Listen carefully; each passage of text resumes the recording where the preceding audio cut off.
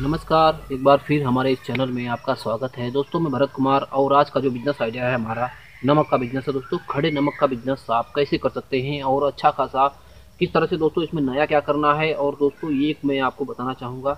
आप एक खड़ा नमक देख के भाग मत जाना, क्योंकि दोस्तों, आज का जो आने वाला जो समय है दोस्तों, पीसा नमक सब खा रहे हैं। आपको पता है, टाटा एक से एक ब्रांड जो आ चुका है मार्केट में।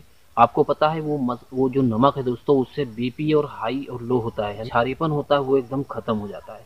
और वो खत्म होने के कारण दोस्तों आपको पता है क्या होता है? हमारे ब्लड में जाता है उसके बाद वो जो अमलता बढ़ाता है उसके बाद हमारा जो बीपी है दोस्तों हाई और लो आप देख लीजिए नमक का सबसे बड़ा देन है दोस्तों। तो दोस्तों मैं कुछ ऐसा बिज़नेस आइडिया लेके आया हूँ जो कि बहुत ही गजब का है और ये खड़े नमक का बिज़नेस आपको किस तरह से करना है हो सकता है मैं कुछ आइडियाज़ आपको बताऊँगा और हो सकता है आपको 100 परसेंट पसंद आ जाए। तो दोस्तों, आपको नमक कहाँ से खरीदना है बता रहा हूँ मैं। आप देख लीजिए, पैंतीस सौ रुपये टन मिल रहा है। यानी आपका दोस्तों, एक क्विंटल साढ़े तीन सौ रुपये का आपको खड़ा नमक मिल जा रहा है। रेडीमेड कुछ नहीं करना है, आपको खाली लाना है और उसको सेल कैसे करना मैं आइडिया आपको बता रहा हूँ। आप चाहें तो होलसेल में भी इसे सेल कर सकते हैं, लेकिन मैं कुछ आइडियाज़ आपको बता रहा हूँ। साढ़े तीन रुपये किलो के लमसम में शायद आपको पड़ जाएगा खड़ा नमक, ठीक है? अब आपको सेल कैसे करना है? अगर आप चाहें तो एक एक किलो का जो पाउच होता है, सादा पन्नी में ही पैक कराना है आपको, मैं आइडिया बता रहा हूँ। सादे पन्नी में पैक करा सकते हैं और पैक करने के बाद उस पर अपना ब्रांडिंग दोस्तों, मोहर वाला जो बताया था मैंने, मोहर वाला ब्रांडिंग आप करवा सकते हैं। जैसे मान लीजिए, पन्नी वगैरह प्रिंट प्रिंट कराएँगे तो आपका खर्चा काफ़ी लंबा बढ़ जाएगा।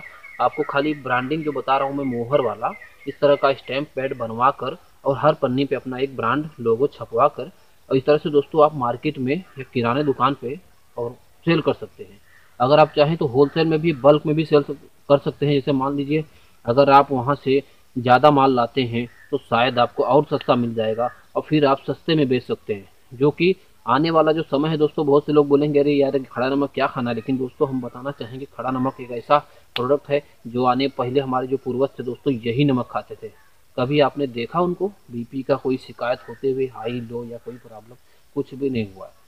आप देख लीजिए, एक से एक ब्रांडेड नमक आ चुके हैं, लेकिन फिर भी किसी का स्वास्थ्य ठीक नहीं है दोस्तों। तो दोस्तों, ये खड़ा नमक जो है, बहुत ही नेचुरल है और ये क्षारियपन है। क्षारियपन मतलब दोस्तों ब्लड में हमारे ये अमलता को नहीं बढ़ने देता है। तो दोस्तों, ये जो नमक का बिज़नेस है, मैंने जो अभी आपको आइडिया बताया, इस तरह से आप सेल भी कर सकते हैं। अगर आप चाहें तो बल्क में ला के बल्क में ही सेल करा सकते हैं, जैसे दुकान दुकान पे। जैसे मान लीजिए एक एक दो दो कुंटल तो ले ही लेते हैं। अगर दस कुंटल आप लाते हैं, मान लीजिए साढ़े तीन हज़ार रुपये आपको टन पड़ रहा है। यानी दस कुंटल का एक टन हो गया, ठीक है? अगर आप मान लीजिए छः सौ रुपये या सात सौ रुपये टन छः सौ में भी दे देते हैं तो भी आपका, मान लीजिए पचास रुपये ट्रांसपोर्ट निकाल देते हैं तो भी आपका एक क्विंटल पे दो सौ रुपये का लमसम फ़ायदा हो जाता है। तो दोस्तों, इस तरह से आप बल्क में सेल कर सकते हैं, और नहीं तो फिर आप जो पैकेजिंग करके और दुकानों पर एक एक बोरी में पैक करवा सकते हैं, अपना पाउच एक एक किलो का डाल के, और उसकी प्राइस साढ़े तीन, मान लीजिए आप सात रुपये रखते हैं, दुकानदार उसे दस में बेचता है। तो इस तरह से दोस्तों होलसेल बिज़नेस भी कर सकते हैं और रिटेल का भी काम कर सकते हैं।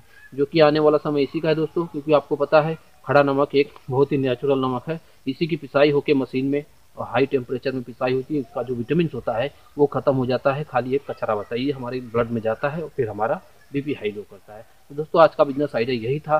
अगर अच्छा लगा हो तो एक लाइक कर सकते हैं और हमारे चैनल को सब्सक्राइब करना ना भूलें। फिर मिलेंगे किसी वीडियो के साथ।